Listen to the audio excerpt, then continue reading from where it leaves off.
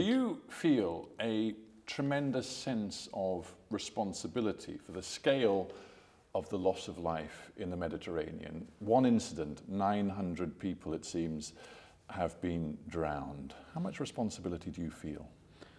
An enormous responsibility, and the hope that this responsibility will be shared uh, at least uh, in, in Europe, because it's not only an Italian responsibility. We have a European emergency, we can't have an only Italian answer.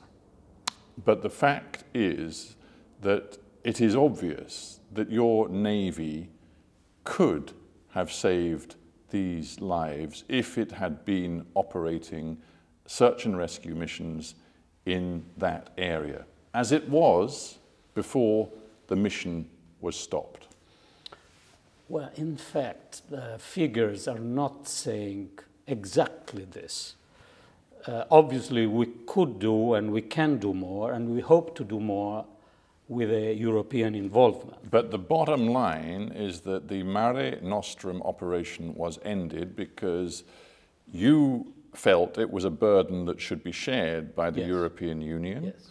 The European Union, key member states like the United Kingdom, said they were not prepared to support it. In fact, the United Kingdom said quite clearly that they regarded the operation as counterproductive as, quote, an unintended pull factor, yes. encouraging migrants to come across the sea from North Africa. What do you now think of that position taken by the UK and other governments?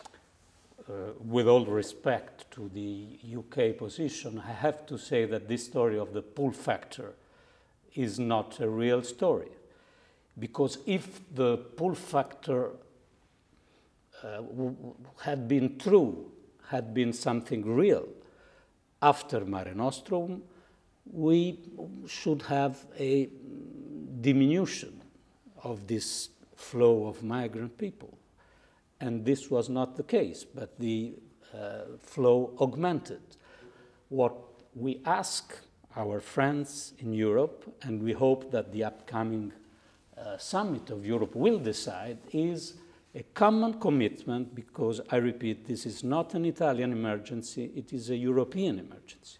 Do you think that the UK government and others who supported the ending of those search and rescue missions should feel shame for their position? Uh, perhaps we all should feel ashamed because when uh, you lose uh, human lives, hundreds, but also dozens of human lives, uh, as Europeans, in, with our values, our values of uh, liberty, our Christian roots, uh, we should feel ashamed.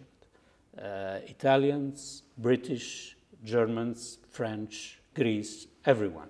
So the fact is now that our reputation is at stake, and I hope that this uh, huge tragedy uh, will shake a little bit the, the, routine of European answer and push our leaders to give a new answer.